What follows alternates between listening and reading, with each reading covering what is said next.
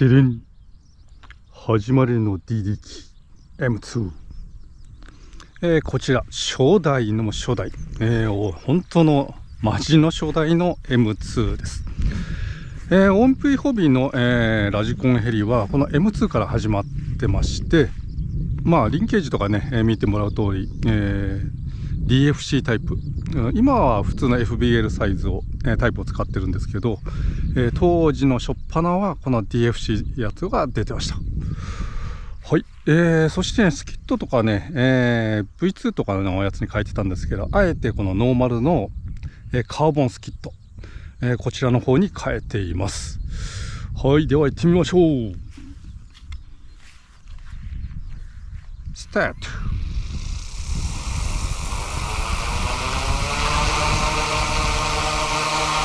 いや初代のやつなんで、あまりね、うおかな？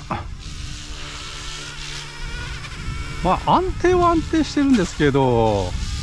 アイドルアップから、えー、ノーマルモードにした時テールモーターが止まるっていう現象がね、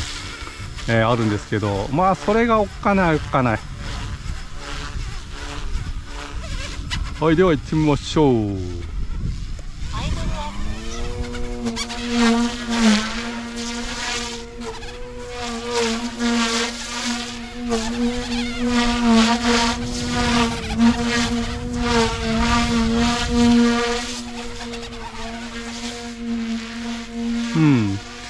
ね抜けないっすよ。でも当時結構ね抜ける抜けるって騒いでたの割には今自分が飛ばすとそんなに抜ける気がしないんですけどまあ舵の打ち方が変わったのかもしれないですね。まあみんなそ当時はもうフルピッチを、えー、で飛ばすのがまあ普通だったんで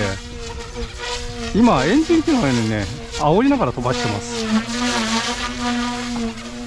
まあ要はピッチを入れる時ってきっかけを作るための、えー、ワン動作にしか過ぎなくて、えー、最大ピッチを入れるのも本当にコンマ1秒入れるか入れてないか。この機体をバチッとバチッと止める時だけフルピッチを入れている感じであとは全然、えー、フルピッチは入れてません。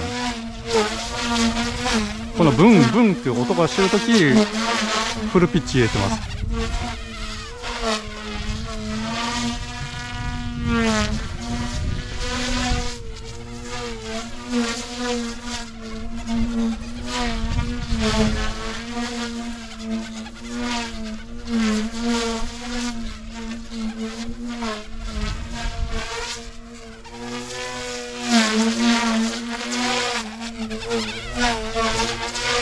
え、ちなみにこの、えー、 OMPHOBBY は受信機は双葉製の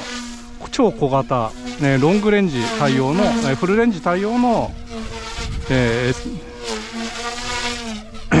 ー、S バス対応、まあ、S バスのみのね、えー、受信機使っております、えー、電波方式は SFHSS タイプになってますんで実は当時のマルチって言われてる、まあ、初代のやつより、えー、通信スピードが速いってことね、えー、うちのクラブ連中から聞きました。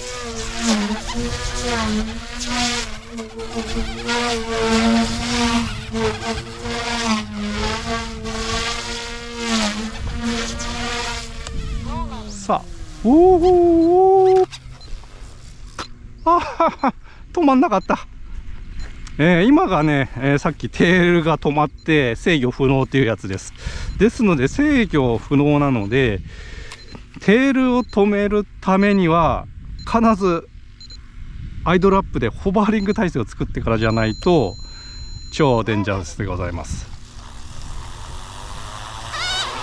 ああああ、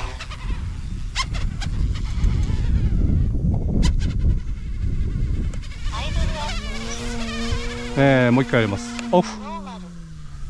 で今約1秒止まってましたね。まあこれがね本当にね初代の M2 の怖いとこです。ああああああああああなんてこった。垂直尾翼がぶっ飛び上げる。うん貴重な水中ブロック在庫あるかな？ちょっと見てみましょう。